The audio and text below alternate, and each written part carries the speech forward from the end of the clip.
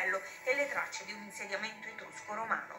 Mentre nel 1964 esplora la Tuscia in cerca di location per alcune scene del film Il Vangelo secondo Matteo, il colpo di fulmine per questo locus amenus che riuscirà ad acquistare nel 1970, trasformandone una parte con l'aiuto dello scenografo premio Oscar Dante Ferretti nella sua casa di luce legno e mense vetrate sul verde. In questo rifugio dell'anima Pasolini trascorrerà gli ultimi anni di vita lavorando a romanzo incompiuto Petrolio, scrivendo molte delle sue lettere luterane.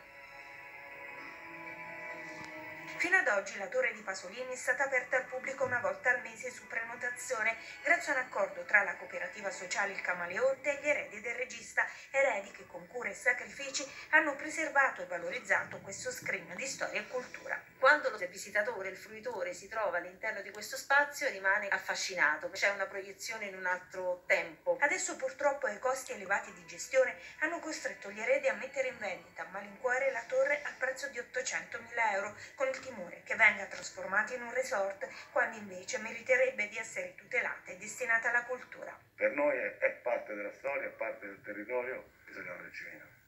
Per cui libertà piena della famiglia, noi cercheremo come comune di inserirci nell'atto d'acquisto se troviamo le possibilità nella Torre di Chia Pasolini accoglieva sia personaggi illustri come Bernardo Bertolucci e i fratelli italiani, sia gli amici del posto. Principalmente erano i ragazzi delle, della zona, quindi ragazzi che venivano da Bomarzo, di Chia Sessa oppure che venivano da Soriano. Posso dire che anche mio padre ha frequentato spesso eh, il gruppo di Pierpaolo Pasolini perché giocavano a calcio nel campetto di Bomarzo e poi andavano a fare delle cene, delle grigliate eh, lì al castello, a Fosso Castello. Non lancio appelli, ma ho scritto al Ministero dei Beni Culturali e sono convinto che la sensibilità che il Ministro ha dimostrato in casi similari a questo si farà manifesta anche a Soriano del Cimino. Il Ministro Franceschini non permetterà che questo bene diventi un bene privato che non sia più fruibile non solo dalla comunità di Soriano del Cimino, ma dalla comunità italiana e mondiale perché